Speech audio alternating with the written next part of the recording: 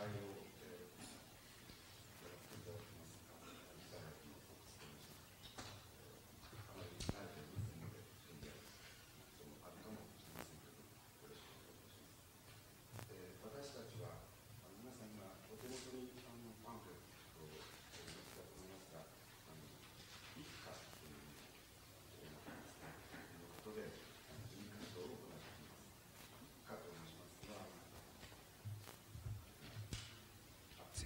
一家というのはですねあのここに書いてありますけれども、えー、山口現代芸術研,、えー、研究機関という、まあ、その言葉を、え YICA というふうにあの頭文字を取りまして、え一家というふうに、まえー、称しています。その活動この内容についてはこれをまたあのお帰りになった時にあのお読みいただきたいと思いますけれども、えー、現代美術というのを確認しながら、まあ、あのコンテンポラリーアーツというふうに、まあ、複数で言ってます。これは美術だけではなく左に書いてありますようなさまざまな活動を、えー、紹介したりまた一緒になって創造的な活動や学習を行うそういう施設というより、まあ、場を作り出そうというそういう活動です。その活動の一環といたしまして、えー、あのこの白い版があると思いますがこのエジンバラ山口95という企画を今回行っています。今日それが、まあ、その初日なわけですね。それで今日は29日ここで行われ明日は、えー、県政資料館の議事堂旧議事堂で行います。それから、えー、1日は山口ふるさと伝承総合センターというところがメインの会場になります、まあ、それらはあのパンフレットの中に詳しく書かれておりますのでご参照していただきたいと思います。それではあの簡単にですけれどもあのエジンバラからあのいらっしゃいました4人の講師の先生方をあのここで紹介したいと思います、え、まず左から、えー、マード・マクドナルド先生です。えー、先生はあのエジンバラ大学のであの教えていらっしゃいますけれども1955年にエジンバラに生まれて、えー、美術と哲学を、まあ、重要な要素として心理学を研究するというかされている方です。現在エジンバラ大学でスコットランドにおける芸術と思想との相互依存性への普及を伴うスコットランド文化研究という講座を開かれております、まあ、エジンバラレビューというあの雑誌のですね特集号があの今日あの話題になるゲディスのあの特集号ですけれどもそれの編集をなさっています、えー、次に、えー、いらっしゃるのがあのダンカン・マクミラン先生です。まあ、先生はもうすでにあの皆さんの中ではおなじみだと思われますがあの2月に山口にいらっしゃってやはりあのゲディスと、えー、禅というような問題についてお話をしていただいたことがあります、えー、1939年にお生まれになって、美術史の教授をエジンバラ大学で、美術の教授をなさっています。1999年には、えー、大著の、スコットランド美術史1460から1990という書物をお書きになってこれがその年のあのスコットランド・ブック・オブ・ズ・イヤーというのをあの受賞されています、まあ、名著だと思われますけど。もまたあの次の先生はアラン・ジョンストン先生です、まえー、皆さん彼は一番あの馴染みの深い方だと思います。に山口にはもうたびたび訪れています、えー1945年にエジンバラでお生まれになってエジンバラ美術大学などで絵画を学ばれて、まあ、ヨーロッパをはじめとして国際的に、まあ、非常に著名なアーティストであの活躍されています。1984年以来、まあ、4回にわたってギャラリー島田で個展もあの開かれてますし、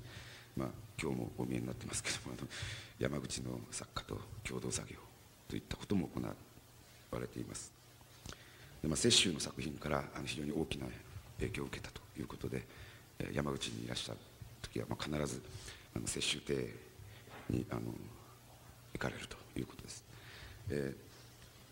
ー、アランの講演はあの明日やはり1時からその県政資料館の旧議事堂で、えー、私の作品と接種ということでお話しいただくことになっています最後になりましたけれどもあのジェームス・グレイ先生です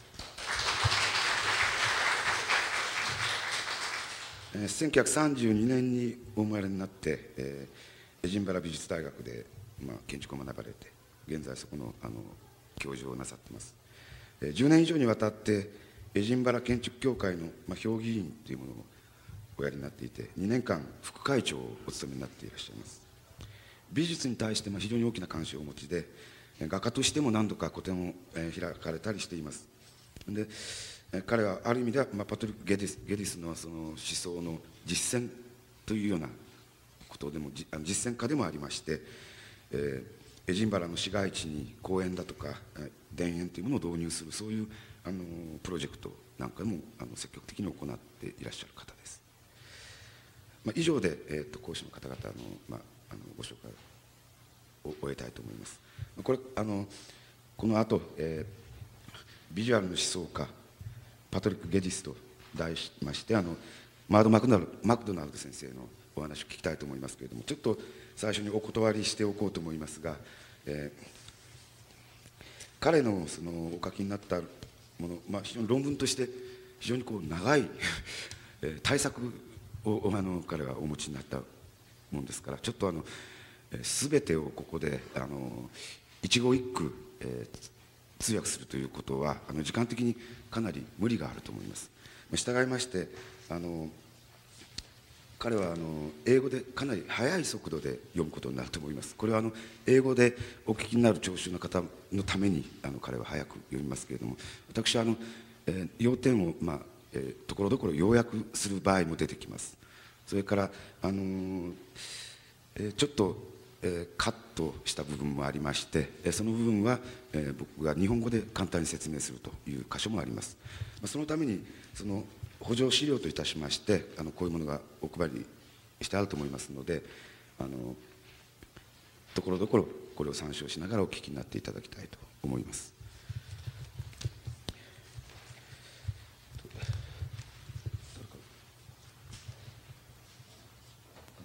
それではそれではこれからあのマド先生のお話をお聞きしたいと思います。どこで？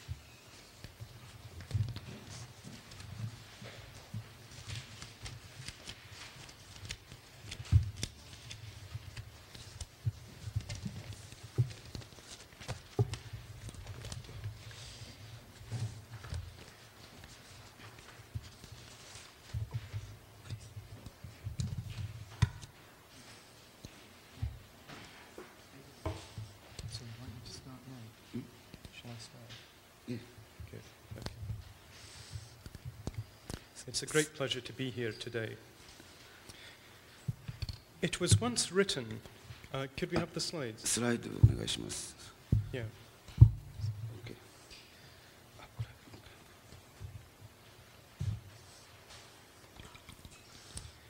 It was once written of Patrick Geddes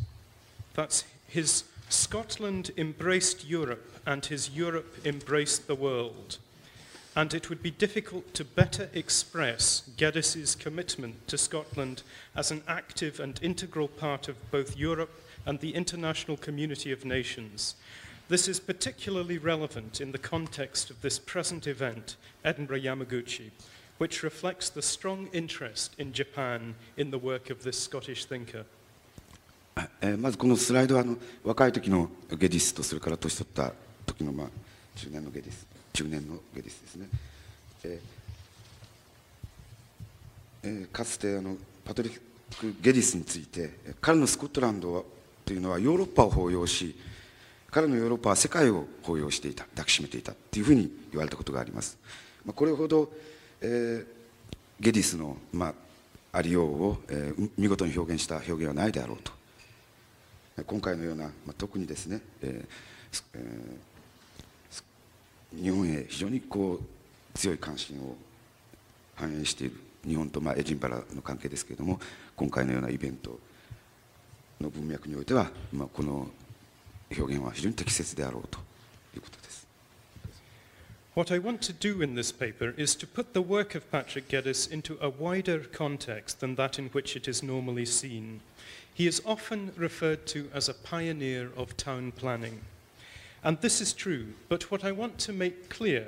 is that his town planning abilities were just one expression of a polymathic genius of which visual thinking was a key part. Furthermore, I want to suggest that his refusal to be pigeonholed and specialized, far from being simply an unusual intellectual attribute,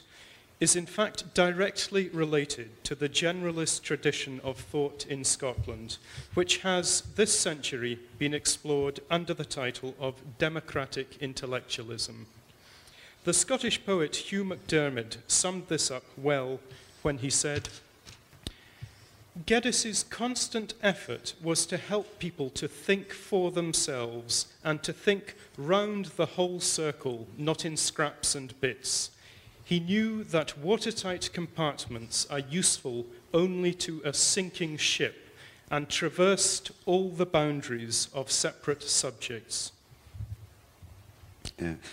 私のこの今回の,、まあ、あのお話の目的ですけれどもパトリック・ゲディスというのは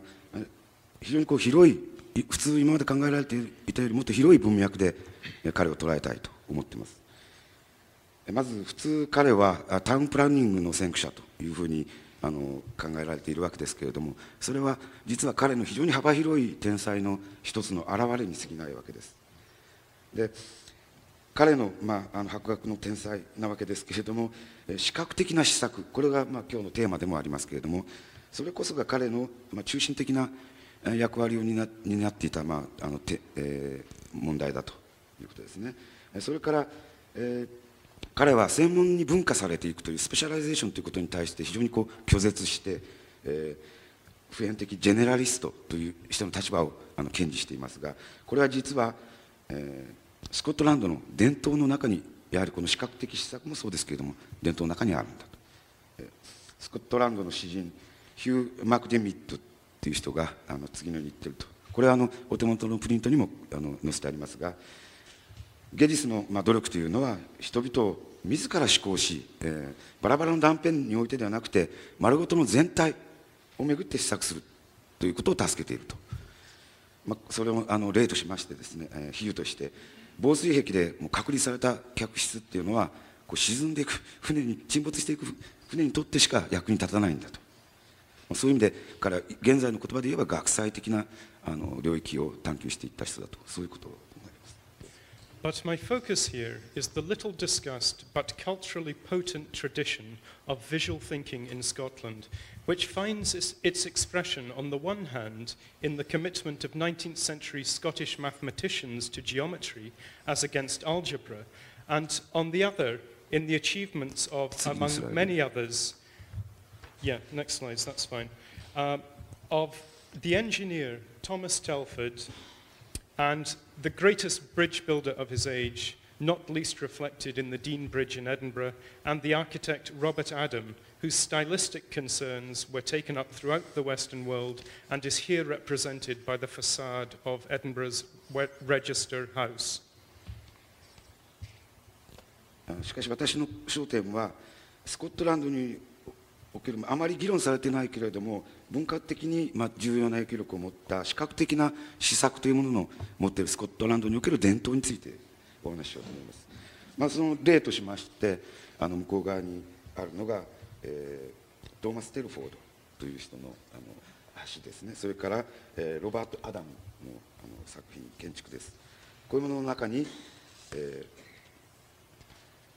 代表されているような視覚的な伝思索の伝統というものに触れたいと思います。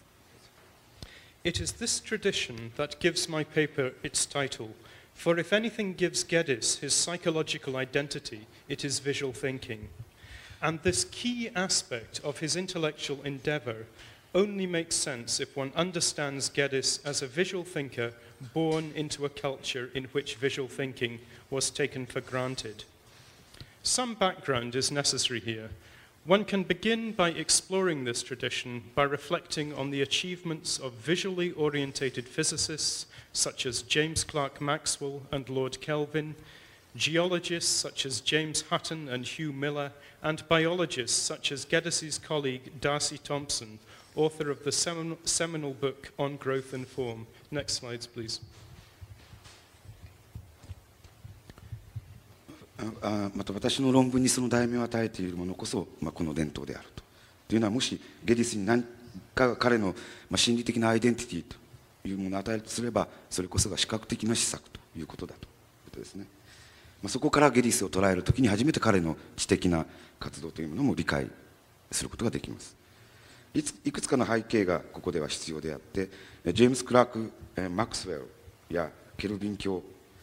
まあ、ゲディスの領有とである、えー、ダートシントンプソンといった人たちの業績について、えー、考えてみると、まあ、このことよく分かってくると。Another engineer one would want to mention is James Watt.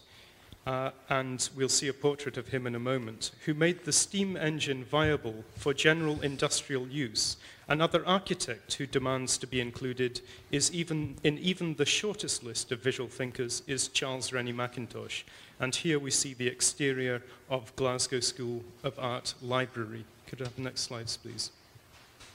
他にもあジェームス・ワットですねこれはあの産業的な用途に頼るようなあの蒸気管を作った人ですでこの、えー、肖像画は、えー、ジェームス・エクフォード・ラウダーという人の描いたものです。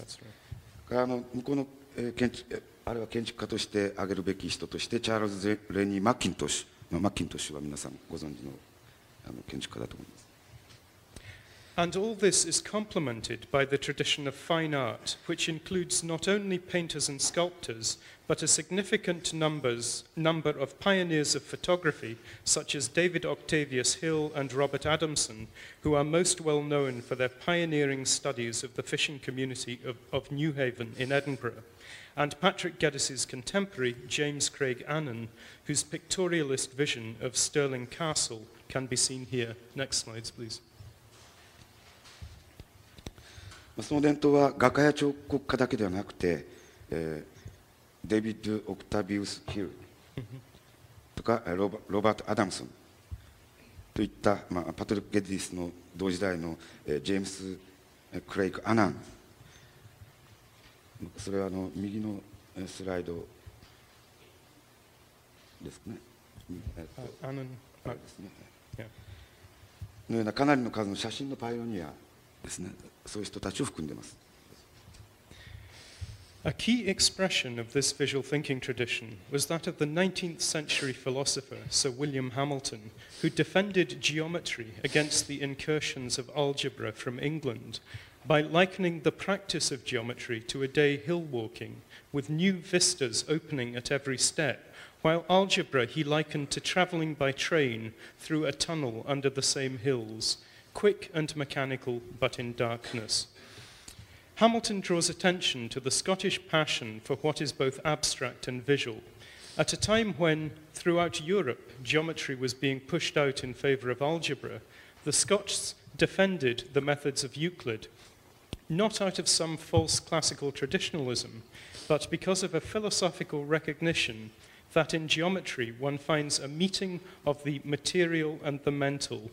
in short, geometry is a mental activity which is at the same time real to the senses. It has a human completeness, and in this sense, it can be thought of as not only visual, but also as generalist.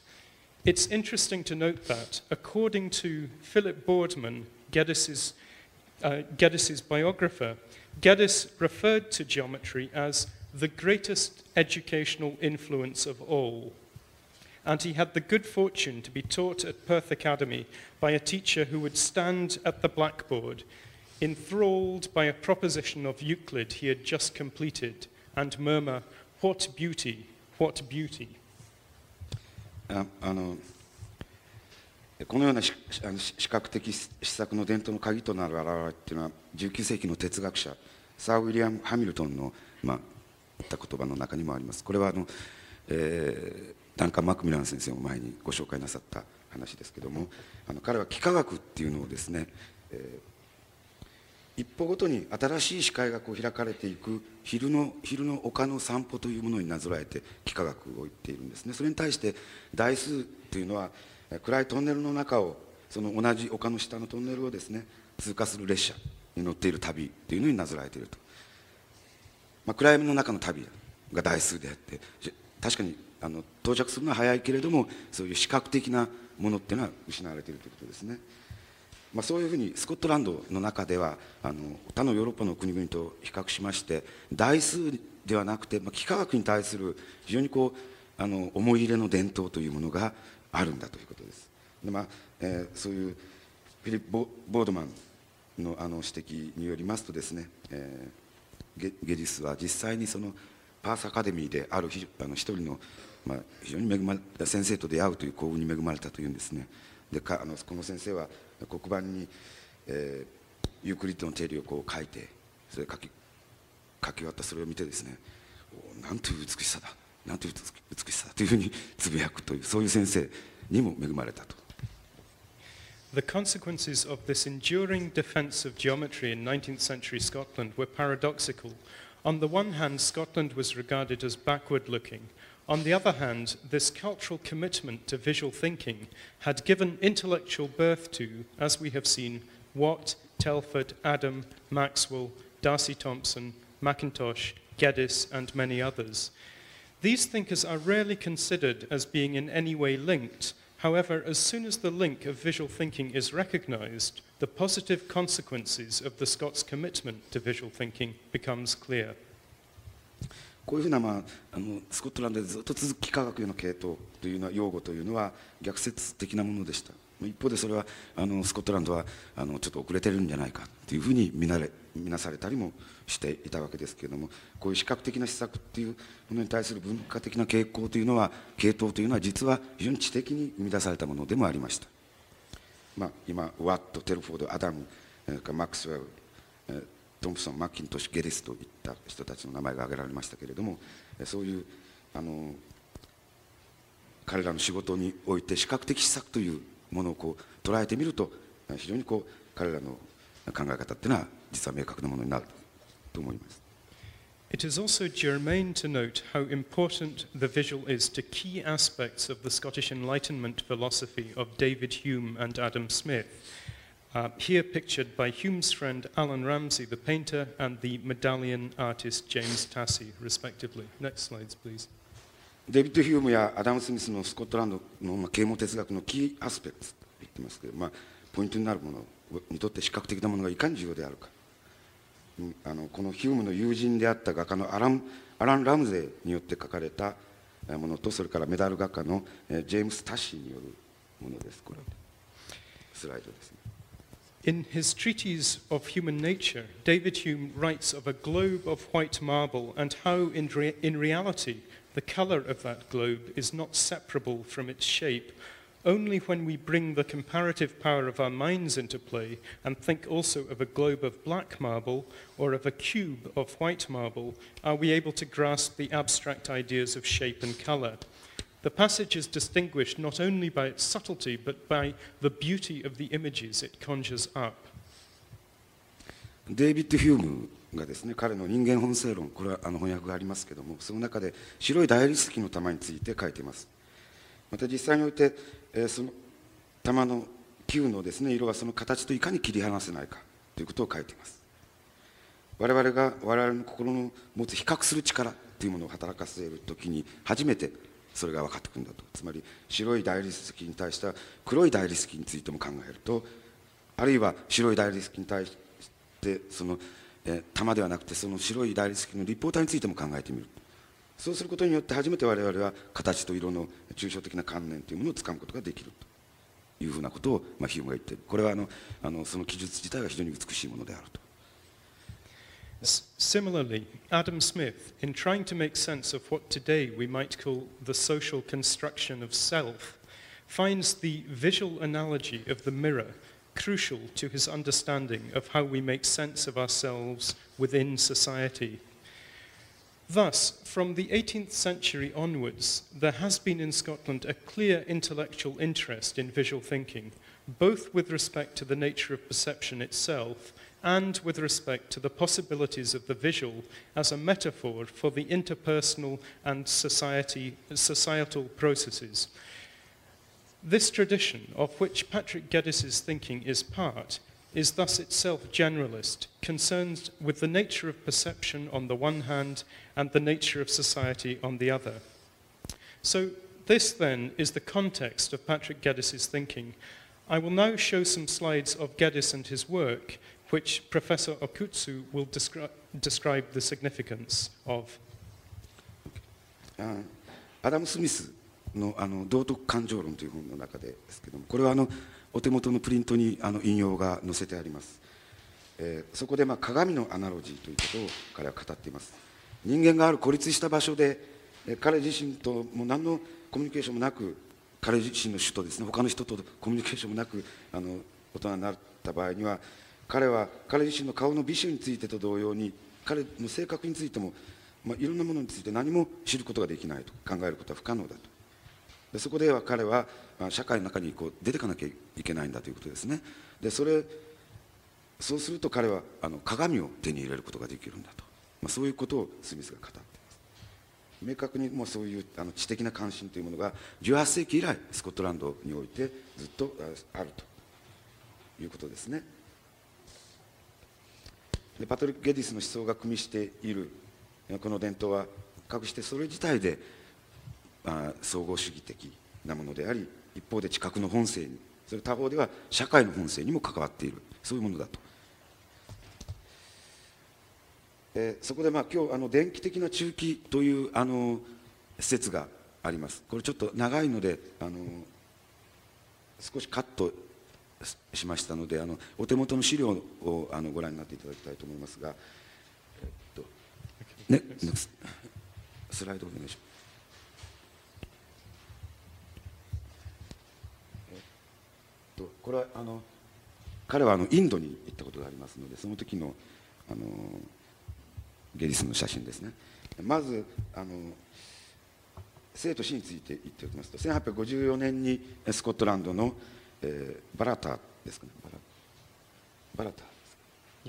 バラターで生まれて1932年えフランスのえモンペリエであの亡くなっていますでままず彼はあの植物学者として出発していまして1874年から1877年にかけてロンドンでトーマス・ヘンリー・ハクスレーの下で植物学を学んでいます。このハクスレーというのはあのオールダス・ハクスレーのあのおじいさんであの進化論の、えー擁護者でですね、えーダーウィンのブルドッグですか。ダーウィンの、えーブルドッグというふうなあだ名があった 擁護者です。でその後1877年からブリタニーとか、えパリでやはり学んでいます。でコントの思想の影響を受けたりルプレからあのプレイスワークフォークというこれあと話がありますけれどもあの基本的な概念をそこから影響を受けていたりします。1888年にはあの、えー植物学の教授になり1903年これはあのロンドンであの社会学社会学会を創設されていますね。1919年には当時新設されたあボンベイのあのだあの大学の、まあ、先生にもなっています。どうぞ。これはあのこの後あのまたお話がありますけれどもあのアウトルックタワーの写真がこれですね。エジンバラの。向こうはあの、えっと、タウンプラン、まあ、都市計画ということ。ですじゃあどうぞ。次の。ああっとそうですね。どうぞ、えっと、スライドお願いします。これエジンバラと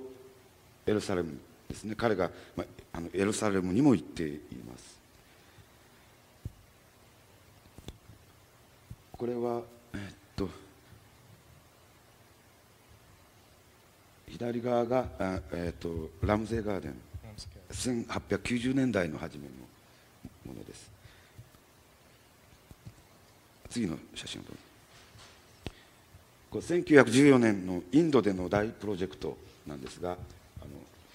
向こう側の、えっとスライドでお分かりになるようにあの中心に実はトゥリーを配して木を置いているという彼のゲディスの、まあ、プランが向こう側ですね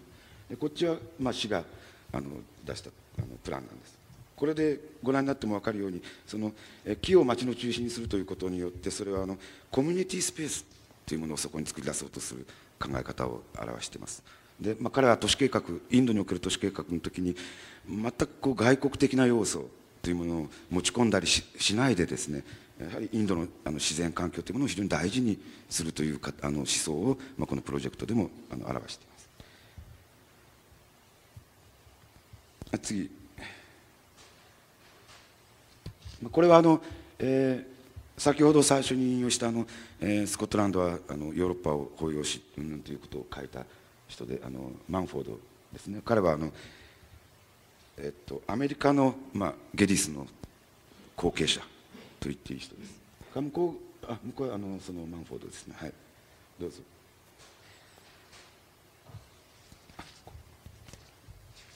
We start Yeah. Geddes regarded education in the broadest sense as the necessary complement to planning, advocating educational pageantry as a tool of civic awareness. He wrote, For vital effect, the whole has to be infused by a common idealism, at once artistic, philosophic, and social, and applied towards the enrichment of the city's life through the diffusion of its past heritage and the appreciation of its opening future. This sums up his commitment to link past and future as a matter of course, and to make this link in the context of art, philosophy, and society, a truly civic context, not in the context of a commercialized heritage industry. As an educational reformer in the 1880s and 1890s, he initiated student run university residencies such as Blackie House in the old town of Edinburgh. ゲディスはまた教育というものを非常に広い意味で都市計画の必要な補完物というふうに見なしていましたで、まあ教育的な仮想行列なんかをですね市民の覚醒の道具として擁護して次のように言ってます生きた効果として全体が共通の理想で満たされていなければならない。と同時に芸術的哲学的かつ社会的で都市の過去の遺産の普及と都市の開かれた未来の評価というものを通じて都市の生活を豊穣なものとするためにそのものがなされなければならないというふうに言ってます。過去と未来を、まあ、当然のこととして関連させて、まあ、歴史的仮想行列みたいなことも彼はやってるわけです。こういうものはまあ芸術哲学社会の文脈において真のまあ市民的な文脈の中でそういうものを作り出すということをゲリスは行ったわけです。1880年代と90年代の教育改革者としても彼はエジンバラのオールドタウンにあるブラッキーハウスのような学生の自主に任せて運用させ運営させていくような大学の学生寮といったものも初めて作ったりということをしています。In Edinburgh, Geddes revitalized the medieval tradition of universities as, at least in part, democratic student run bodies. He also pioneered interdisciplinary summer meetings and rehabilitated old town buildings such as Riddle's Court, which is on the right here, in which to hold them. Those invited to participate included anarchists such as Peter Kropotkin and the French geographers Elie and Elise Reclus. Uh, but he also had the ability to attract both these radical thinkers and liberal Scottish aristocrats like Lord Rosebery, whom he persuaded to renovate Lady Stairs House in Edinburgh as part of a pioneering scheme of urban conservation. Next slide, please. ここで彼は大学の、まあ、中性的な伝統というものを再活性化させ少なくとも部分的には民主的な学生が経営する団体として、まあ、再活性化させたと。また彼は学際的なサマーミーティングの、えー草分けでもありそれを開校するためのえーリドルスコート先ほど右側に出てたのがあのそうですけどもそういう建物を復旧したりしました。そこに招待された人の中には、えークロクロポトキンのようなですねあのアナキスト。あるいは、えーレクロス、えーたちのようなアナキストも含まれている。ラディカルなそういう思想家とともに、えーローズベリー教のようなリベラルなスコットランドの貴族といった人たちもかあのその中に含まれているわけで、まあ、両方の人々のにあの彼はあの引きつける能力というものを持っていた。でまたそのローズベリー教にですね彼はあのエジンバラのレディースレレディー・ステアーズ・ハウスここにありますそれの修復をするようにと、まあ、説得もしている Without Geddes' interve- in, in, intervention, this dilapidated building, which we see on the left here, would probably have been demolished. Uh, instead, it became what we see on the right. Indeed, it is no exaggeration to claim that Geddes saved a great deal of the old town of Edinburgh from, destru- from destruction,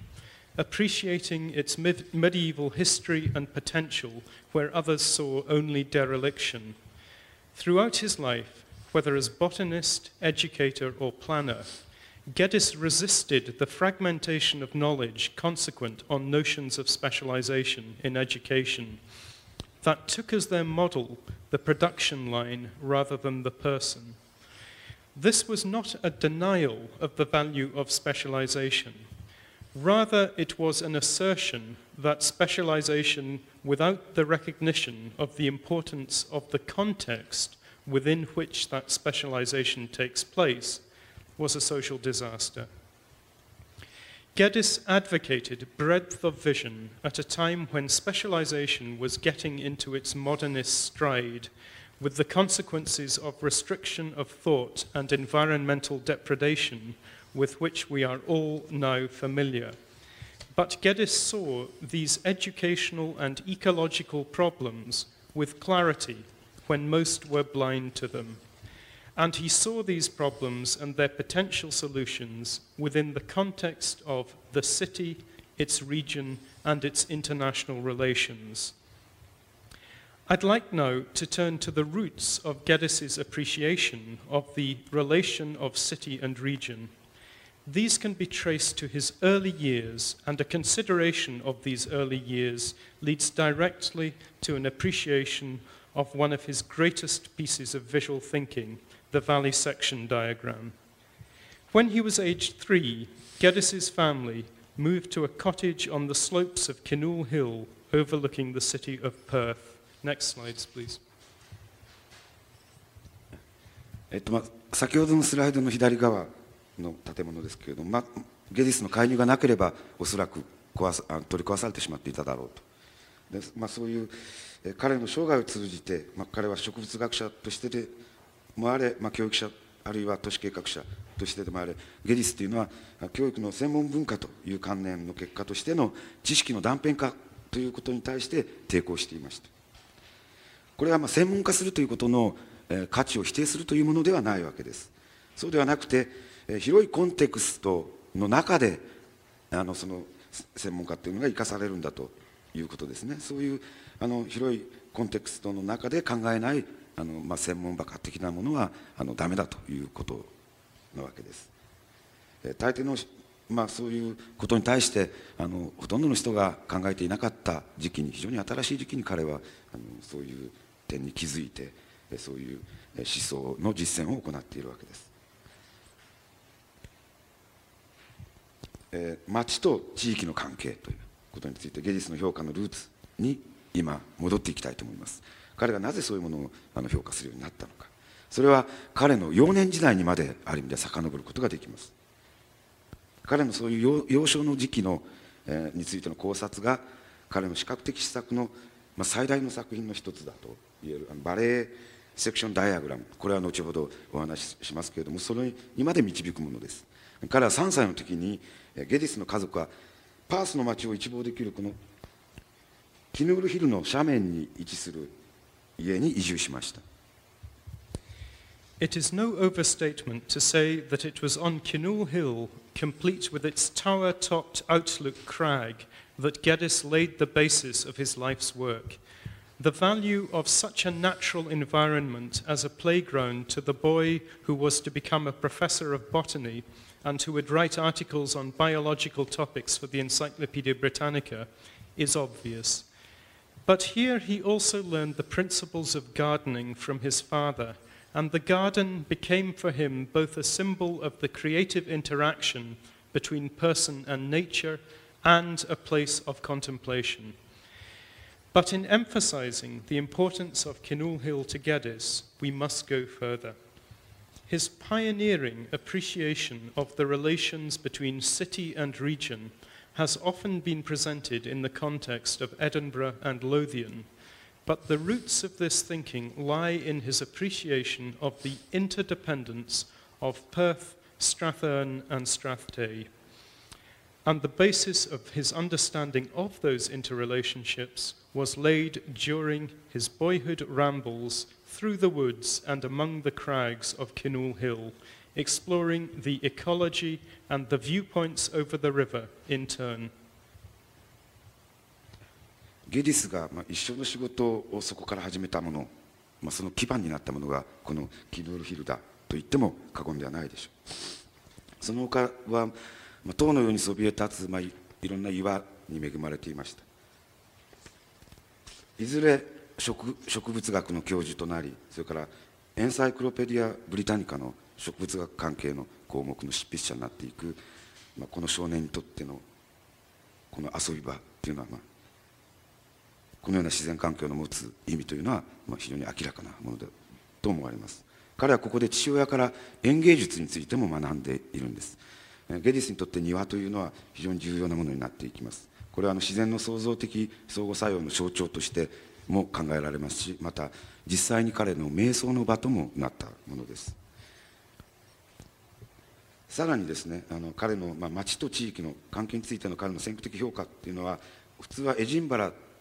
の文脈ですね。そちらで考えられるんですけどやはりこのあの彼の幼少の時期のえパースにおけるそのパースと、えー、ストラジん？How do you pronounce? ストラサンそれからストラステイストラステイ。とのそういう相互関係、まあ、町と地域ですね。町が置かれている地域との関係ということも考えないといけないんだと。そのような、まあ、間の関係性ということでインターリレーションシップというふうに言ってましたけどもそうについての了解の基礎というのは彼が少年時代に森を、まあ、抜けキヌールヒルの岩々の間を散策するということで培われ生態学また川を見晴らす視点を探探検していくということになっていくつなつながっていくわけです From this hill, the young Patrick Geddes could see not only Perth, but the rich agricultural lands between the highlands of Scotland and the Ohill Hills. For Geddes, this place, a hill overlooking a region of diverse human activity and natural features, was a key experience, coming together with his understanding of the symbolic and real wonder of the garden. The idea of the region became a tool for thought which was to play a large part in his later ideas. This later thinking, as it relates to his early experience of living overlooking a city, overlooking a city from a hill, can be seen not only in his commitment to the Outlook Tower in Edinburgh, but also in the simple but powerful visual thinking device that Geddes called the valley section diagram. Next slides, please. この丘から若きパトリック・ゲディスはパースの町だけではなくそのそこに広がるハイランドとか、まあ、あの豊かな農耕地帯をずっとこう見渡すことができたわけです。ゲディスにとってのこの場所っていうのは、まあ、鍵になる経験であったと思われます。庭園の象徴的かつ事実的脅威についての彼の了解理解と一体となって地域というものの観念はこれの彼の後の観念に非常に大きな役割を果たした思想のそのための道具となったと言えます。この後期の施策は丘からの町の眺望眺めという彼の初期の生活経験と関連づけられた時に初めてそのエジンバラのアウトルックタワーへの彼の関心だけではなくバレーセクションダイアグラムとゲディスが読んだ力強い視覚的施策の装置においても見出すことができるものとなります。これはあの Here, Geddes can be seen making sense of basic human activities with respect to the appropriate place for those activities. The hunter in the forest, the shepherd on the hill, the miner within the hill, the crofter or peasant on the low land, the market gardener on the outskirts of the city, the fisher in the sea. All in this diagram given symbolic reality within a highly stylized version of the city which Geddes used as a living symbol of his ideas, namely Edinburgh in the shadow of Arthur's Seat, but also owing a great deal to Perth in the shadow of Kinnoul Hill. Here, Geddes is demonstrating that by attending to a real environment, real people, and real work in a symbolic but organized way, one can begin to be in a position to understand that environment in its fullness and therefore to be able to plan it or simply to be able to live constructively within it. Geddes does not, of course, expect everyone to be able to fit into the categories of the simple valley section. The point of this valley section diagram is that it is a symbol of how a situation begins to make sense when you look at it from a holistic perspective. And this holistic generalist message of Geddes is applicable in, in all situations One of the most beautiful, but also the most informative of all representations of the valley section is the stained glass version made for the Outlook Tower, which can now be seen at Cannonball House on Castle Hill in Edinburgh, just across the road from the tower itself. Next slides, please. ここであのゲディスバレーセクションダイアグラムというのはここにあの別のバージョンですけども簡単な図解が載ってますけれども あの今別の図解を2つあのお見せしたわけです。この丘からえ若きパトリック・ゲディスはパースあ失礼しました。次のところでした。えここでゲディスが基本的な人間の活動をそれらの活動にふさわしい場所との関係において意味づけているわけですね。あの丘を断面でこう見てですね。え森の漁師とか丘の上の羊飼い低地の、まあ、農夫たち。町の郊外の市場向けの農園業者あるいは海の漁師といった、まあ、人々の仕事とその人たちが生きる場所というものをあの結びつけています。で、えー、現実の仕事に象徴的ではあるが組織化された仕方で注目するということによってその全く意味における環境というものを理解するそういう方向に向かうというわけです。それをまあ図解して見せているわけですね。ゲディスはもちろんこういう、まあ、あの全ての人がこういう単純なあの、えー、カテゴリーの中に入ると言ってるわけではないわけで、まあ、非常にこれは象徴的なものとしてこの、えー、メッセージというのはあらゆる状況に実は適用可能であると、まあ、そういうバレエセクションのさまざまなバージョンの中で最も美しいもののがあのこの、えーアウトルックタワーのために作られたステンドグラスなんですが現在ではもちろんアウトルックタワーにはなくてあのそこから道を一つ隔てたエジンバラのキャッスルヒルの上のキャノンボールハウスで現在でも見ることのできるあのものだそうです。Here we see the basic diagram produced in a wonderfully accessible way. For at the time this window was produced at the end of the last century, domestic as well as religious stained glass was a commonplace in Scotland. Indeed, much of it can still be seen today. This use of stained glass is interesting because it shows Geddes making an educational point. That is to say, illustrating one of the basic analytical tools of the regional survey, while at the same time ensuring that the medium through which the ideas are presented was as popularly accessible as possible.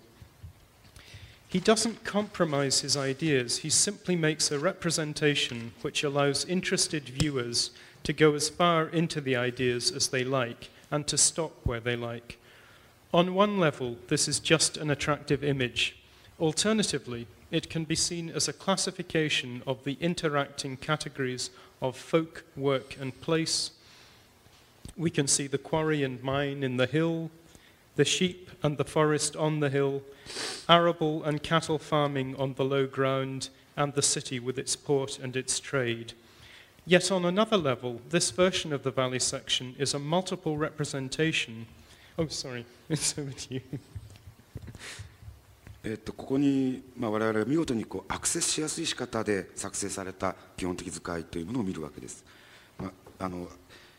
この窓が作られた当時においては、まあ、19世紀末において世俗的にも一般の家庭でもまた教会においても宗教的にもステンドグラスというのはスコットランドで非常にありふれたものであったからです。このステンドグラスの使用というのは非常にそういう点で興味深いものです。というのはこのゲディスが教育的な目的を果たしていると。つまり、えー、地域の地域調査の基本的分析の道具の一つを図解するということを行っていると同時にもう一方で観念がそういう形で提示される媒体というのは可能な限り一般的にこう手に入りやすいアクセスしやすいものであるべきだということを示しているからです。あるレベルにおいてこれはまさに魅力的なイメージである。と同時にあるいはそれは人人々仕事場所というそういう相関的カテゴリーの分類としても見られうるわけです。丘の採石場や鉱山丘の上の羊や森下の大地の農耕地や放牧場港や貿易を伴う市街地を我々はここに見ることができます On yet another level, this version of the valley section is a multiple representation of what the physical and social world is at the moment and could be in the future. Looking at the Latin, Latin word, wording which appears below this window, microcosmos naturae, sedes hominum, theatrum historiae, utopia futuris, one sees Geddes insisting on a set of at first sight contrasting and yet mutually illuminating views of the valley. The valley is first a microcosm of nature, but it is also the sedes hominum, that is to say, the seat of men, the place where human beings make their lives. And linked to this, it is the dramatic Theatrum Historiae, the theatre of history. Finally, it is the utopia or good place of the future. Not utopia with a U, by which Sir Thomas More implied an idealized no place, but utopia with an EU, a good place that Geddes believed could be achieved through local and international cooperation. しかし別のレベルではバレエセクションのこのバージョンはあの、 まあ、実際の世界がその時点で何でありまた未来においてはどうなるのかということについてもあの示しています。この窓の下に示されたあのララテン語の文字がここに示さあの下に書かれています。まずその、えー、 microcosmos nat naturae というのはあの自然の小宇宙ということでこの谷は最初にまあ自然の小宇宙とミクロコスモスだと。また次次いで sedes ho,、えー、 hominum と人間の座る椅子でありすなわちそこは人類が生活する場所であると。これと関連して、えー、 theatrum hist historiae それは劇的な歴史の劇場でもあると。その次に、えー、最後にそれは未来の良き場ということ。 Eutopia futuris。これ Eutopia ということについてこれはあのトーマス・モアがあのどこにもない場所っていうことの意味で使ったユートピアの場合のユーっていうのはあのウーですけどもギリシャ語のウーっていうのはあのないという意味を持ってますね。ない場のウではなくてあのエウというやはりこれもギリシャ語で良いという意味なんですけれどもエウとトポスという、まあ、あの場所と結びつけてエウトピアという言葉を、まあ、ゲディスがここで使っているわけですね。それは良き場所。まあ、同じように理想理想的な場なんですけれどもトーマスもあのウではなくてエウだということです。これはあの面白い指摘だと思います、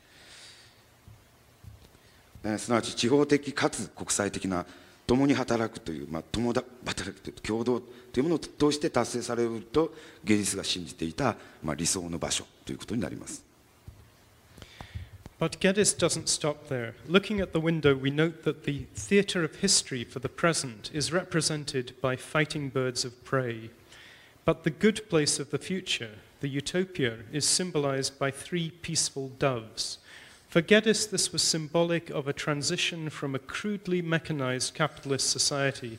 based on unfettered competition, what he called the paleotechnic world, to his dream of a new society which made use of sophisticated, environmentally friendly technologies based on a local cooperation, what he called the neotechnic world. This would, he thought, succeed the centralized and hierarchical power structure of his and our present. These are anarchist ideas in the most constructive sense of that description. Next slide, please. しかし、ゲディスはそこでとどまらないわけで窓を見ますと現在のための歴史の劇場のところでは、まあ、戦う、えーももえー肉食の鳥のことですけどもそれがあの書かれています。これは現在を表現しているんですね。しかし未来の良き場所においては3羽の平和的な鳩が鳩で象徴されていますね。これはゲディスにとっては無原則の競争に基づく野蛮な機械化された資本主義社会これは現在も続いているわけですけれどもこれを彼はあの個性大的な機械的世界というあの生物学的な概念なんですけどパレオというそういうふうに呼んでそういうものではなくて彼が考えた地域共同というものに基づく洗練された環境に、まあ、環境洗練された、まあ、環境に優しいテクノロジーを使用する新しい彼の夢の社会。これは古生代に対して新生代の機械的世界。これはまだ来ていないわけですが、まあ、そこへの移行の象徴としてこの鳥たちを用いている。これは、えー、彼の時代や我々の、まあ、今日のあの中央集権化された階層化された権力構造の後に続く世界だというふうに彼は考えていて、えー、ある意味でこうあのアナーキストの、えー、観念の影響というふうに考えられます。These three doves run throughout Geddes' work. They appear unexpectedly at first, but then you start to look for them on book covers, information sheets, etc. They are found again on the inside of the cover of his Mask of Ancient Learning, a text for performance and reading which brought the participant into contact with Geddes' view of the evolution of culture. But for Geddes, they were not just symbolic birds. They, were, they, they also represented three concepts beginning with the letter S. That is to say, sympathy, synthesis, and synergy. And this message is thus also part of the Valley section window.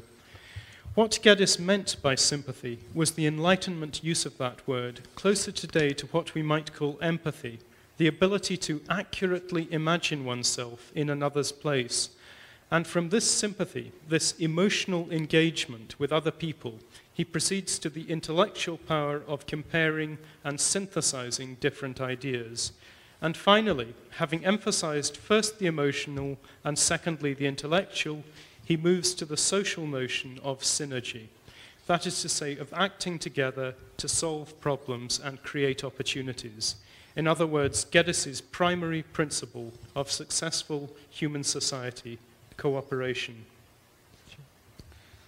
このような3羽の鳩というのはゲディスの作品の至る所に飛んでいます鳩たちは、まあ、最初は冬に現れますしかしその後本のカバーや宣伝文や等々といったふうに鳩たちを、まあ、私たちは探し始めるわけですね。この左側のものが、えー、古代教養の仮面劇という彼の本の扉に描かれている3羽のあの鳩ですね。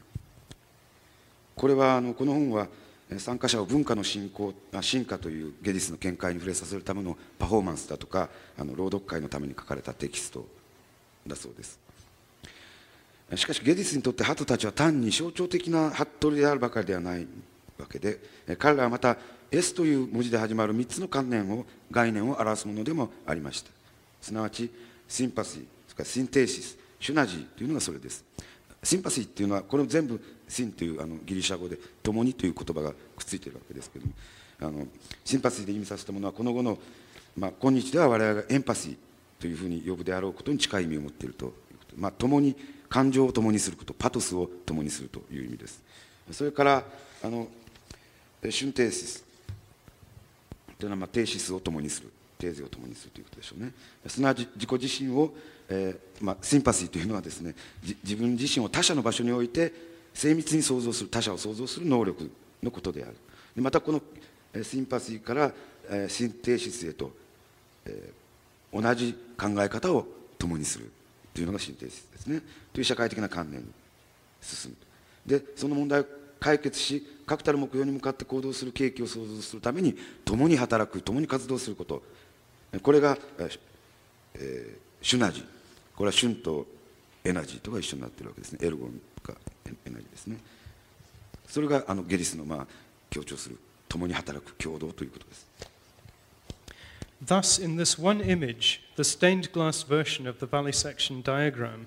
Geddes has provided the basis of a, of a philosophy for thinking about human ecology, not only by drawing attention to the necessity of exploring any environment in terms of its natural characteristics and the way in which those characteristics relate to the folk who live there and the work done, but also by specifying the psychological attitude necessary for any such analysis. That is to say, an emotional, intellectual, and cooperative engagement with that place, those folk, and their work.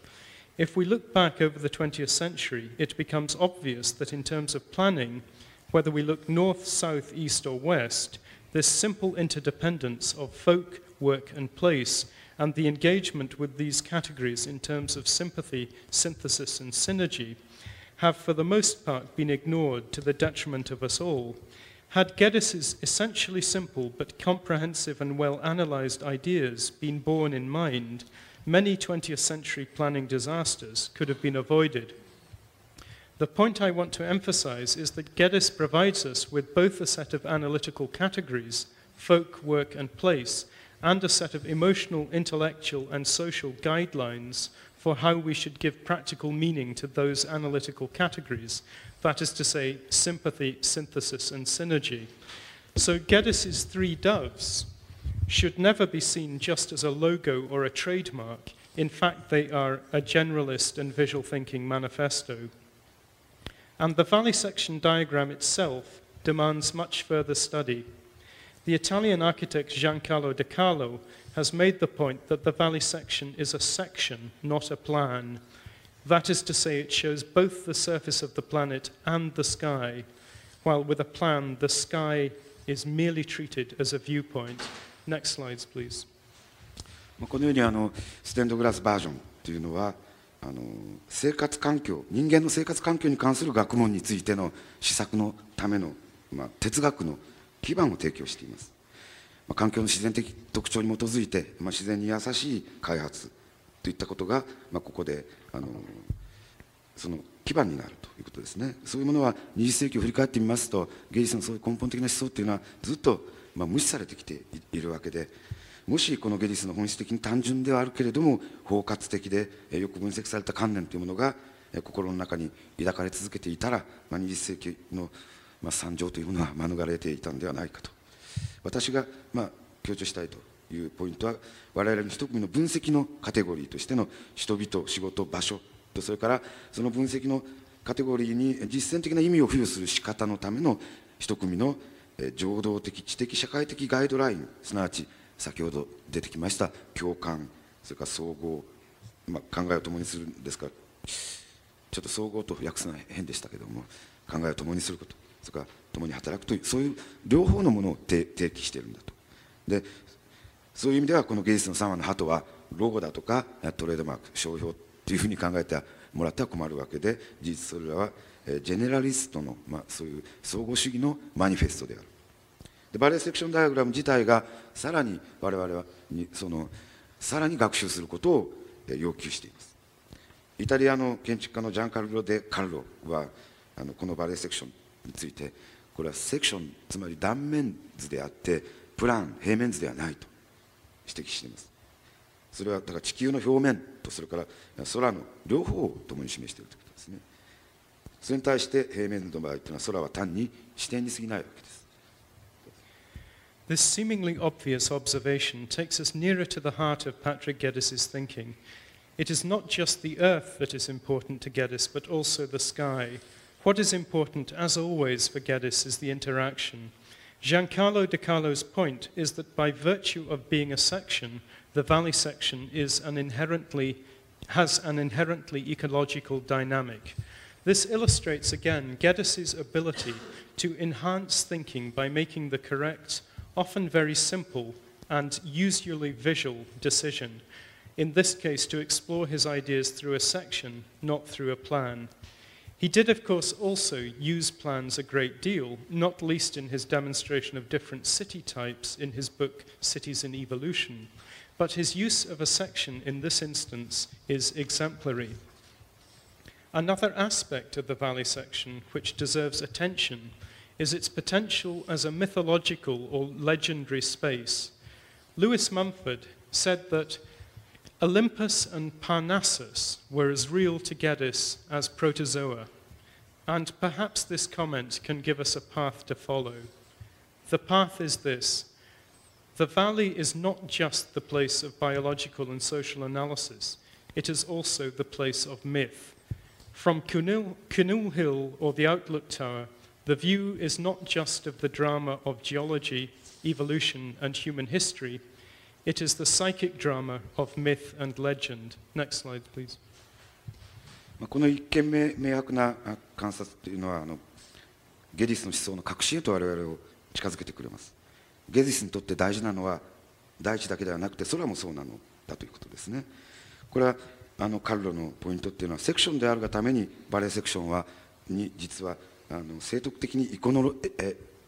エコロジー的なダイナミックさというものを持つことができているんだと。実際にはゲディスはまあいろいろプランの方もあの実際に使っています。これはあの進化する都市という、えー書物においてはさまざまな都市のタイプを説明するのには、まあ、そういうプランを使っているわけです。この進化する都市というのは日本語でも翻訳がありますのであのおお読みいただければと思いますけど。注目に値するバレエセクションの、まあ、別の側面としては神話学的ないしは伝説的空間としてのその可能性ですレビス・マンフォードはオリンポスとパルナストスまあ、オリンポスにはあのギリシャの神々がいますしパルナストスは後にあの指摘されますけれどもあの9人の芸術の女神たちの住んでいるといったところですね。というものはゲディスにとっては、えー、原生動物と同じぐらいに、まあ、実在的なものであったと。このバレエはだから、えー、生物学的社会的分析の場であるばかりではなく神話の場でもある。ピヌールヒルやあるいはアウトロックタワーからのその眺望というのは地質地質学進化人間の歴史のドラマの眺めであるばかりではなく神話と伝説の、まあ、心のドラマでもある Here, Hugh Miller, the geologist, stands side by side with the Celtic deities depicted in The Riders of the She by Geddes's colleague John Duncan. It should be noted that if one looks at the valley section, the aspects of the land to which Geddes draws our attention are as significant mythologically as they are ecologically. The hilltop, the forest, the mine, the field, the city, the sea, and of course the implied river at the heart of the valley. In itself, this isn't particularly significant, since one would expect the salient elements of an ecology of the planet to correspond with the equally salient elements of an ecology of the mind, but when taken along with Geddes's powerful commitment to myth as a form of communication, it is worth noting. For in Geddes, we have a consciousness of both the physical and the psychological aspects of landscape. And within that psychological aspect, Geddes is conscious of both the everyday and the legendary, and more, of the importance of the, of the legendary for the everyday and vice versa. In this sense, one finds in Geddes a closeness both with the mythological writers of Scotland, from Sir James Fraser through Andrew Lang and Donald A. Mackenzie to Lewis Spence, and with more recent thinkers who have been prepared to bring math,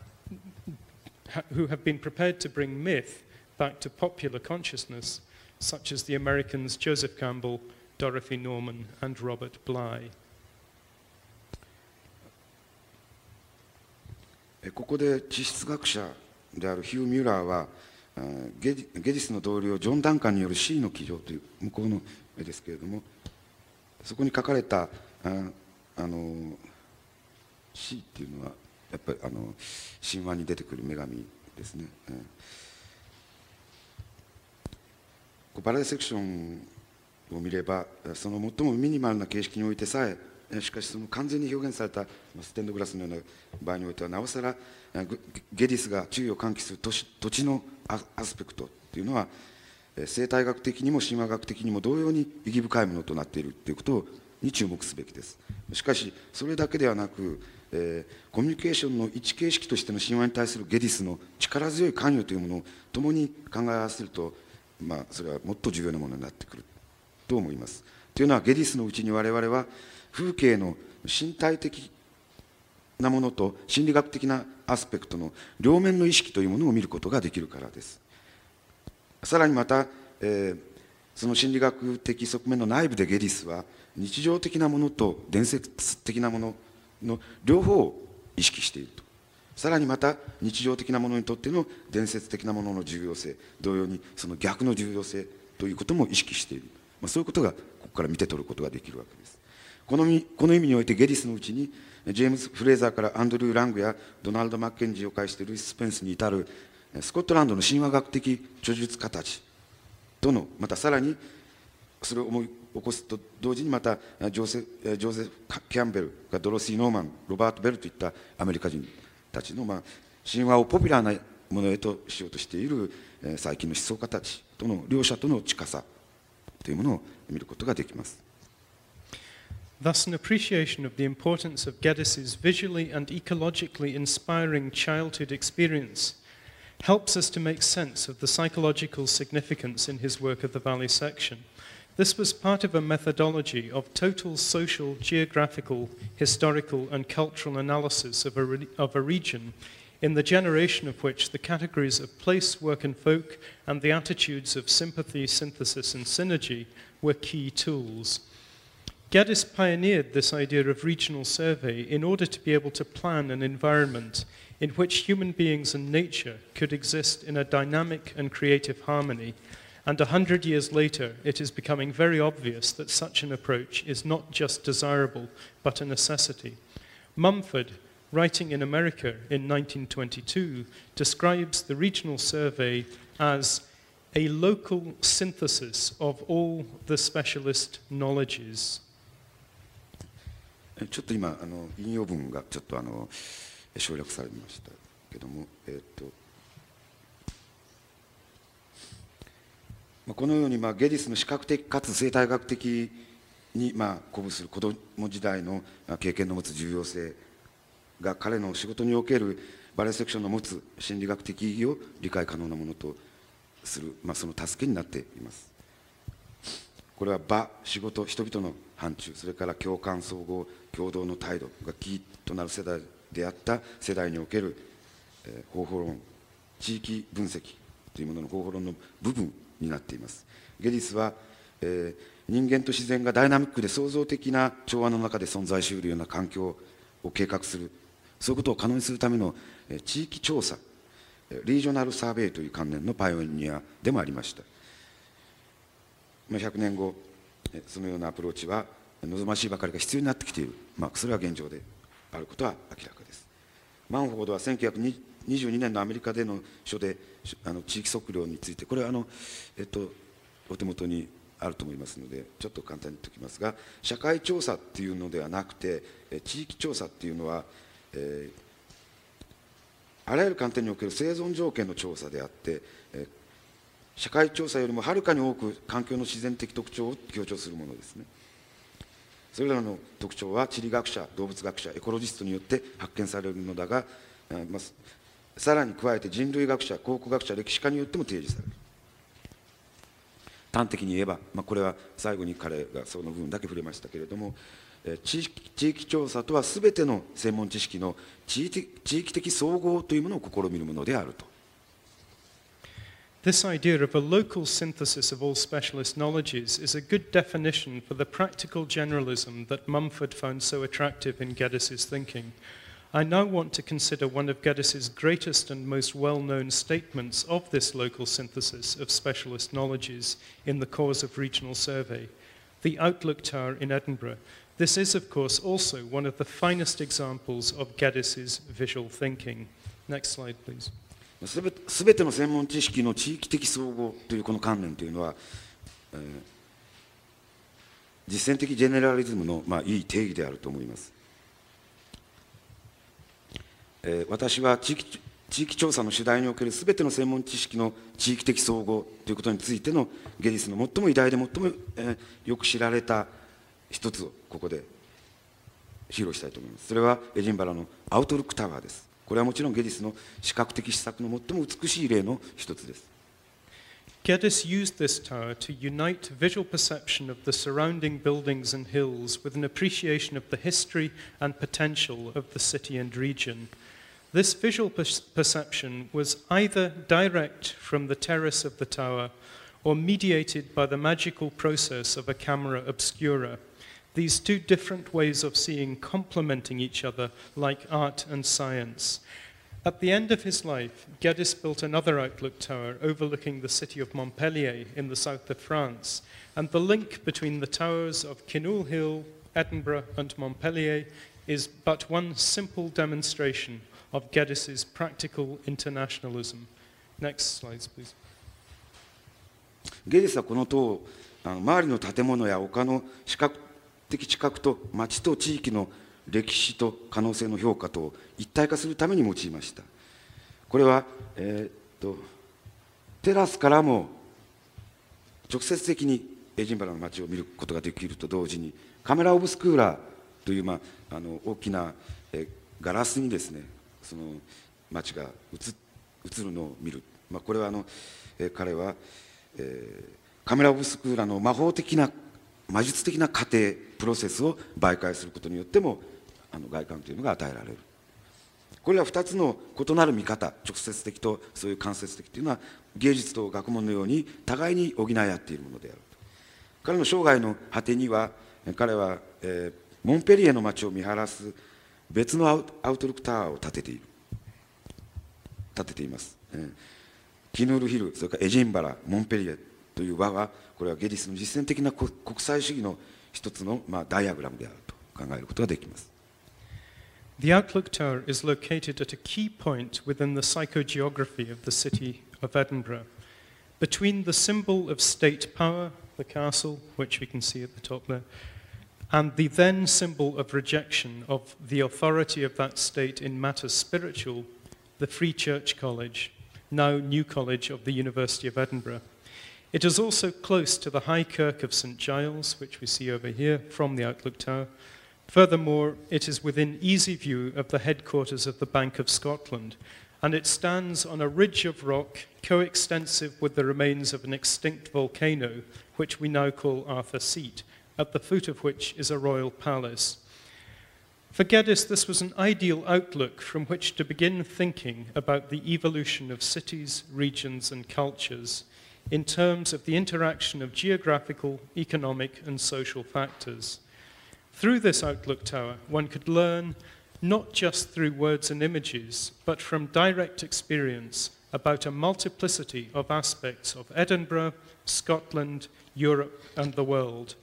all of which had a bearing on how people made their lives through their work in a particular place.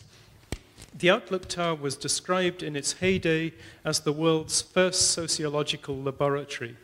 and Lewis Mumford identified it as the point of origin of the regional survey movement. It was an assertion of the importance of all areas of knowledge, all arts, all sciences, all religions, within the context of a real place, explored in terms of the unity of the local and the international. And that unity of local and international is the key to Geddes' emphasis on the region. Next slides, please. アウトロックタワーはエジンバラの町の心理地理学の内部のキーポイントに位置していますそれはこういうことで町の権力の象徴城とそれからその国の権威の拒否の精神的なシンボルとしてのフリーチャーチカレッジ。これは現在のエジンバラ大学との間にそれが位置しているということです。またそれはサンジルのハイカークにも近い。さらにスコットランド銀行の拠点からもたやすく見られる範囲にあります。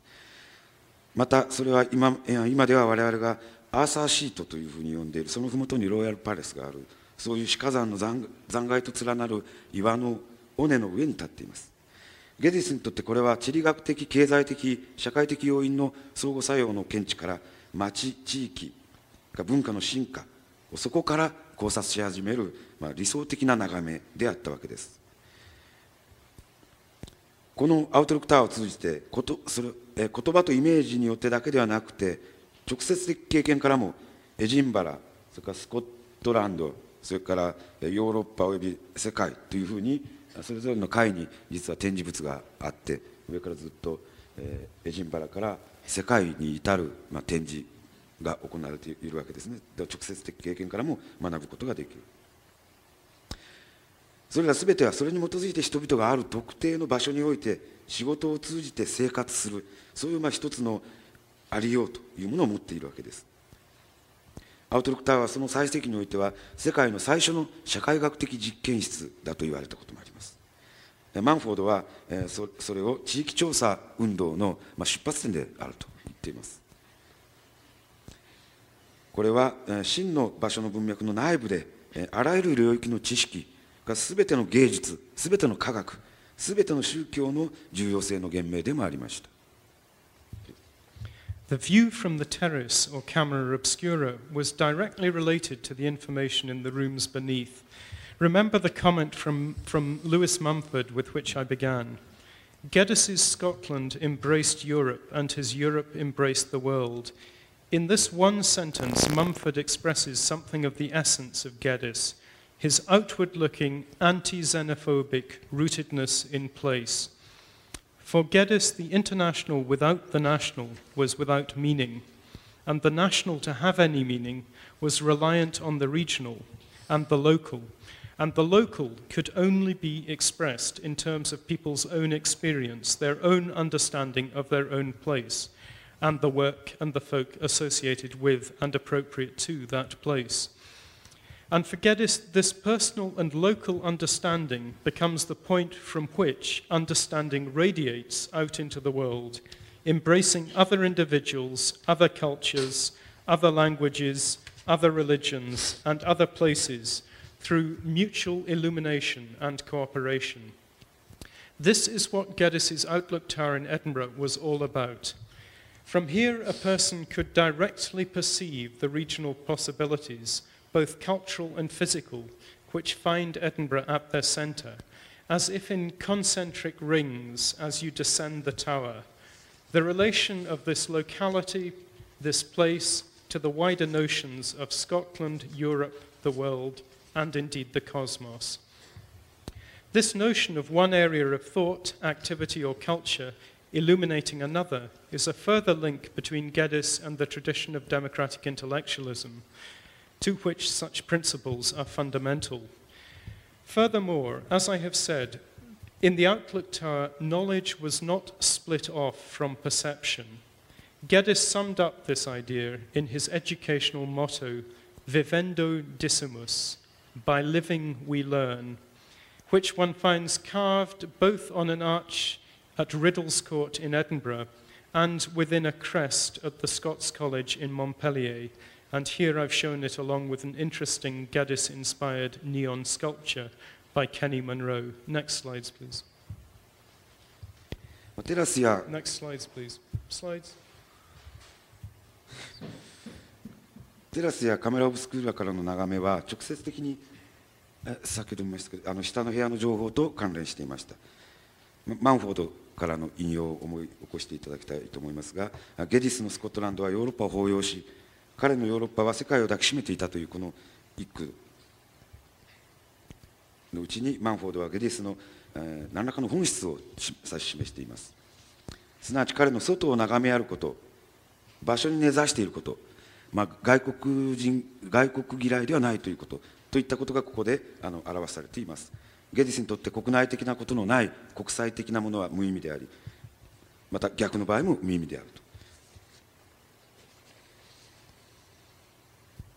ゲディスの、まあ、エディンバラエディンバラのアウトロックタワーの持つ全ての意味はここに、まあ、かかっているわけです。で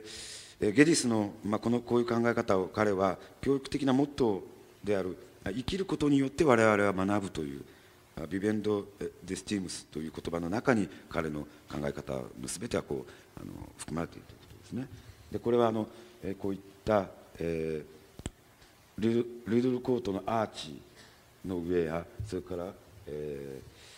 ザ・スコット・カレッジのそうですねあの胸飾りですかねその彫刻の中に彼のあのモットーとしてあの彫り込まれているものです A companion motto was Creando Pensamus, that is to say, by creating we think, and both mottos are notable for their emphasis on both action and reflection. In the light of these mottos, it is no surprise that Geddes was a powerful advocate of the unity of the creative, the intellectual, and the practical found in the arts, both in drama, his dramatizations of history, presented as educational pageants, ranged from the earliest times to the present, and in the visual arts, in particular, the work of artists such, such as Phoebe Traquair and also John Duncan, whose work I have touched on already. Uh, next slides, please. 次のもう一つのモットーっていうのが、えークレアンド・ペンサームスという想像する作り出すということによって我々は考えるというモットーですで両方のモットーはいずれも行為とそれから反省という両方を強調していることに注目すべきですこれらのモットーに照らすとゲディスが芸術に見られる創造的知的実践的要素の統一の力強い首相者であるそれを唱える人であるということは驚くには当たらないことでしょう初期の時代からそれから現在に至る教育的野外劇みたいなものとして彼はあの歴史の劇化という劇をやってみたりあるいは視覚芸術という点では特にあのすでに触れた我々見たジョン・ダンカンの、えー芸術家の作品ですねそういったものにも彼はあの非常にこう関心を持っていたと、まあ、そういう両面がここに見て取ることができるということです。はい、どうぞ。Duncan and colleagues such as Helen Hay, uh, you see Duncan this side, Hay the other side, were part of an important group of Celtic revival artists, which included Charles Mackey, James Cadenhead, Robert Burns, and Nellie Baxter, and all contributed to Geddes's interdisciplinary magazine, The Evergreen,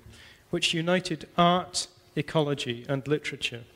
This was published in four issues, one representing each season in 1895 and 1896.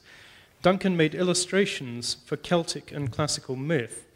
while Hay created a visual almanac of outstanding beauty for three out of four issues. えー、とダンカン左行ってそれからヘレン・ヘイのような同僚はケルティック・リバイバルの芸術家たちの重要なグループの 中の人人たちです。彼らはゲディスの芸術エコロジー文学を一体化した学際的な雑誌「えー、The Evergreen」という雑誌に、まあ、あの一緒にやってた人たちですね。これは1895年と1896年のにかけて一巻がそれぞれ春夏秋冬というふうにその季節に割り当てられたあの版として4つ出されています。ダンカンはケルト神話と古典神話のための挿絵を描き、えーヘイは向こう側は4巻のうちの3巻のためにまあ美しい視覚的なあのこういうえーイラストレーションですねそういうものを行っています Next slide, please. The point should also be made that European art at this time was strongly influenced by the art of the Japanese print, and the style of the evergreen illustrators is no exception, as can be seen with even the most cursory comparison of a masterpiece such as one of Hokusai's Hundred Views of Mount Fuji, which we see here, and Charles Mackey's evocation of a Scottish autumn, Liat Leaves, which we see on the right. The magazine took its title, The Evergreen, from the Evergreen published by Alan Ramsay in the 18th century, and this is an example of the importance Geddes attached to the expression of continuity of place and culture, or as one, or as one might say, the importance of the local.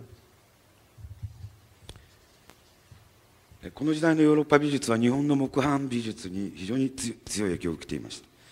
エバグリーンのイラストレーターのスタイルも例外ではありません これは北斎の富岳百景ですね。それと、えーチャールズ・マッキーのスコットランドの秋を、まあ、喚起するこういう作品をちょっとこう見ただけでもそれはよくわかることだと思います。その雑誌はえエバグリーンという彼らが出した出版した雑誌はですねアラン・ラムゼによって出版された「The Evergreen」というあの著書がありましてその題名を取ったものです。そしてこのことは場とそれから文化の連連続性の表現ということを、まあ、ゲディスが非常に重要視していることの表れです Next slide, please. The importance of place because Geddes had used Alan Ramsay's old house on Castle Hill in Edinburgh as the core of his extraordinary arts and crafts tenement community of Ramsay Garden, which we see again here.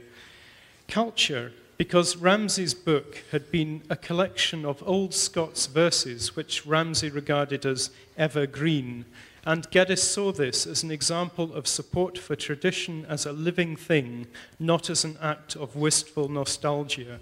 The fact that Patrick Geddes came from a family in which the languages of Scots, Gaelic, and English were all understood, and in which Scots was the main language, was of profound importance to his later awareness of different cultures and the significance of local traditions. His admiration for Alan Ramsay's Evergreen um, should be, his admiration for Alan Ramsay's Evergreen should be seen in this light. Geddes's own Evergreen was co edited by William Sharp, who, under his pseudonym of Fiona MacLeod, was one of the major literary figures of the Celtic revival in Scotland. The magazine also included Geddes' seminal essay, The Scots Renaissance. えエジンバラのこのカッスルヒルにあるアラン・ラムゼの古い家を彼はあの美術工芸運動の、まあ、拠点としてあの用いたりもしていますそれはあのラムゼーガーデンカルチャーというふうに言われていますラム、えーこういう、まあ、あの伝統の継承ということは単なる、まあ、憧れのノスタルジアの行為というものではなく生きているものとして伝統を支える一例としてゲディスはこれを見ていたと思われます。それはまたパトリック・ゲディスが、えースコットランド語ゲーリック語それと英語が、えー理解されるような家庭、まあ、中心としてはスコットランド語が話されるというそういう家族の中で、えー生まれ、えー育ったということもまたこういう点では決定的な影響を持っていただろうと思われます。えーゲディスのこの「エヴァーグリーン」というその雑誌はウィリアム・シャープと共同しあので編集されたものです彼はあの、えーフィオナ・.マクロードあフィオナ・マクロードというあペンネームであの活躍した人だそうですスコットランドにおけるケルティック・リバイバルの第一人者の一人ですその雑誌はまたゲディスの生産的な創造的なエッセイ、えー、スコスコッツ・ルネサンスというあの論文も含んでいます。Next slide, please. Also published in the Evergreen was another fine example of Geddes' visual thinking, the Arbor Cyclorum. This is Geddes' tree Tree of the Eras, or Tree of the Generations, and it shows the growth of civilization Uh, unfortunately, we're not going to have any time to, to spend on it here, but I just wanted to show it. ゲディスの視覚的施策のもう一つの素晴らしい別の例があのこの「エヴァーグリーン」でも公開されています。それがこの、えー世俗の木というものです。これはゲディスによるあ時代や世代の樹木であのそこに実はそのアウトロックタワーでも購入できるパンフレットにあのゲディス自身がこの絵についての説明を載せています。これはあの皆さんのお手元にはあの記してあると思います、まあ、時間がありませんので残念ながらそこはあの省略しして次に進,、ま、進みたいと思います Okay. Next slides, please. Let us uh, turn to these ideas of folk and work and place in a little more detail, and with reference to one of Geddes's most complex, complex diagrams, the notation of life. How did Geddes think about these terms and their interactions? Philip Bordeman tells of how Geddes lost his sight briefly on a visit to Mexico in 1879 to 80, and that this experience led him to a deep reflection on the nature of the visual, which in turn led to his creation of diagrammatic thinking machines. According to Boardman, these matrices are in part based on the window frames which Geddes used as imaginary classification devices while he was convalescing. but he soon adapted these to folded paper form to explore the interrelationships of the ideas more deeply. Geddes, used the combinations yielded within these matrices as a way of thinking about the manner in which elements of a situation combined with different emphases. This is all the more interesting if we see it in the context of the Scottish culture of visual thinking and generalism, which Geddes found in his background. Um, Geddes' own description of how folk, work, and place interact in diagrammatic form and their relationship to academia on the one hand and planning on the other hand is worth quoting, but because of time constraints, it will be quoted by Professor Okutsu only. Yep.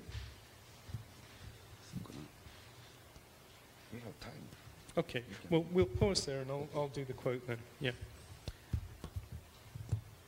えーもう少し詳細にこのあの人々と仕事と場所の観念に立ち戻ってみましょうゲ,、えーゲディスの最も複雑なダイアグラムの一つである正の表記これはあのお手元に、えー A4、A3 番であの日本語のバージョンがあのお渡ししてあると思います